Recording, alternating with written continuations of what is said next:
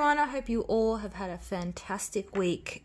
This week in our nail art tutorial, I thought I'd do something really cute and fun with some of my favourite Swarovski crystals and a 3D nail charm as well. So to start off, I have started with a pink base. For my background, I have used the pink upvoted colour in Candy Floss. I've done two coats, cured both coats, and I've wiped my inhibition layer off so we don't have that tacky layer. So we'll jump straight into it. I am going to center this design with our marbled pear charm.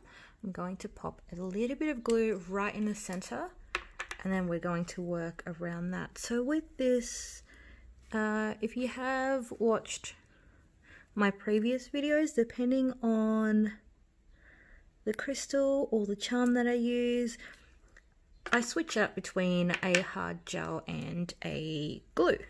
So if you're wondering what type of glue I use, I just use a, a you know your everyday nail glue, SNS glue. I've got a bit of lint. There we go. So pop that on. Still got that lint to get off. There we go.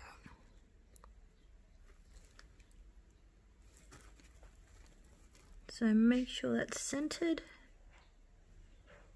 And that will start setting pretty, pretty quickly. There we go. So to surround them, I have some light rose and some light rose AB shimmer crystals as well. So you can see this is the light rose AB shimmer, which is super pretty. And then you've also got, let's zoom in there. These are just your regular light rose crystals and both sizes are in an SS12. Let's just get that centered more. There we go. Now I'm going to pop a little bit more glue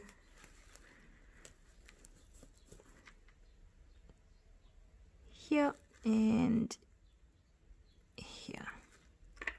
And I'm only using just as much as I need. So I'm going to pop a light rose here and pick up a light rose. Helps if you can see just like that. And then I'm probably going to go in with, say right, right in this little gap.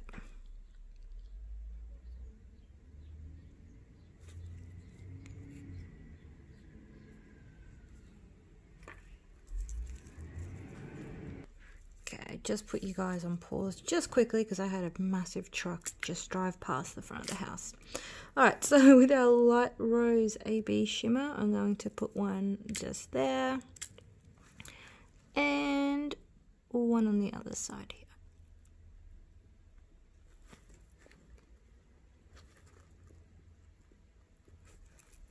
Just like that.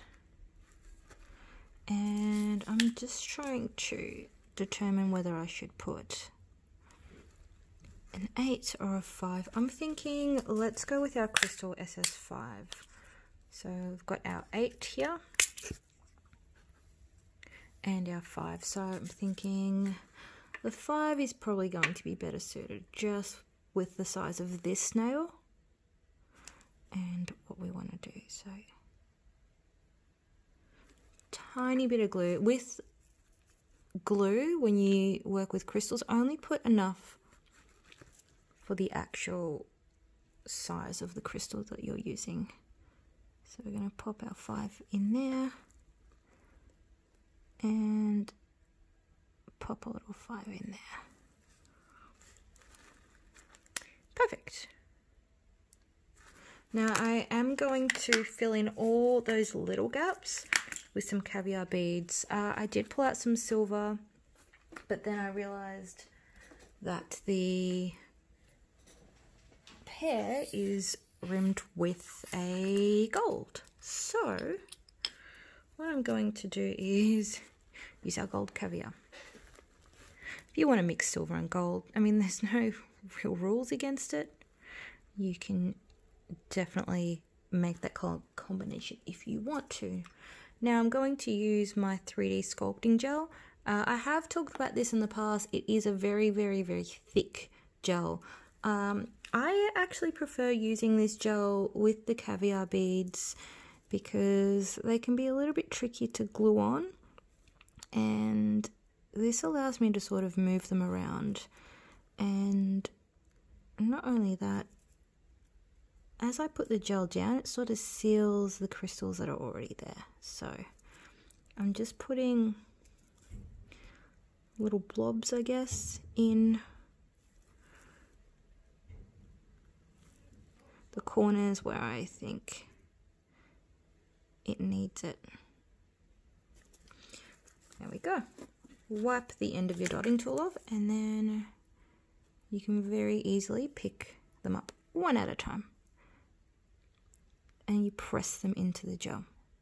I always tell people never ever top coat over your crystals, but with things like charms and caviar beads, you can top coat over them. It helps seal them in and they don't lose their facets because they don't have any.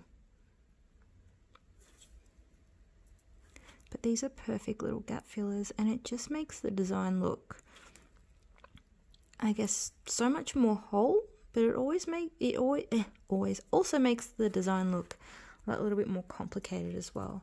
So what I'm going to do, I'm going to grab a really fine liner because I think my dotting tool is too big for what I need it for now. And I'm going to put a little bit of gel in here. And a little tiny bit of gel in there. All right, grabbing our dotting tool again.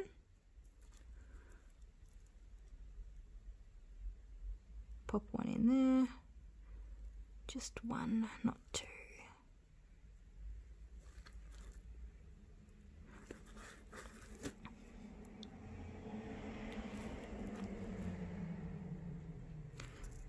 Perfect.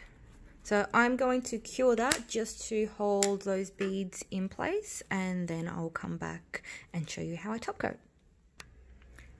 We're back and fully cured. Our caviar beads and everything is firmly locked into place and all you really need to do is top coat your design. Um, I do think this looks absolutely stunning in matte, so if you want to put a matte top coat over it, you could but I am going to put a shiny gloss over it. So when you put your top coat down, I try and put a bit extra in the middle and then I wiggle the top coat up and you can see that it sort of just caps the sides. You want to make sure you create a seal around all your crystals.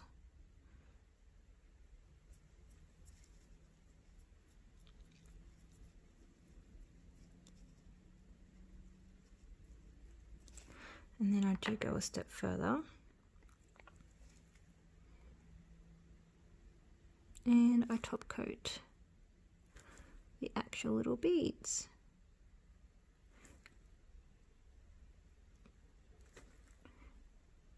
Because clients can be rough with them and scratch them so they can lose some of their colour. I mean, you wash your hands multiple times a day. So I do top coat over the actual charms. You don't have to if you don't like the look of it. I don't think it takes it away. I don't think you can tell it's top coated, other than it's a little bit shinier. But yeah, definitely seal the edges of the crystals and then go over your actual caviar beads because it will keep them shiny and last much, much, much longer. And there you go. All you need to do is cure your final design um, but yeah, you can mix it up a little bit.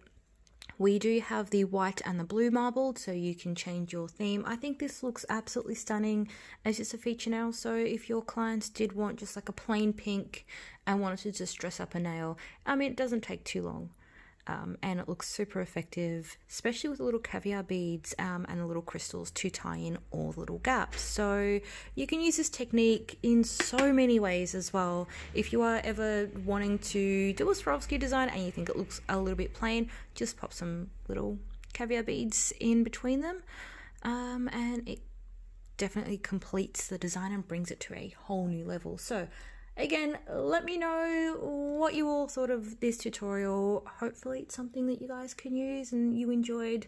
Um, if you have any questions uh, about any of the products or any of the techniques I used, pop a comment below or jump onto our Facebook support group. It is always open to questions about any videos that I post. That is Unicorn Lab Support on Facebook or Tag Your Recreations on Instagram. Um, it's just simply hashtag Unicorn Lab Nail Supply. Um, and if there's any products that you want us to spotlight in any coming tutorials, let me know and um, I'll try my best to work them into our, our video tutorials. Other than that, again, hope you enjoyed this video. Have a fantastic weekend. I'll see you in next week's video. Bye.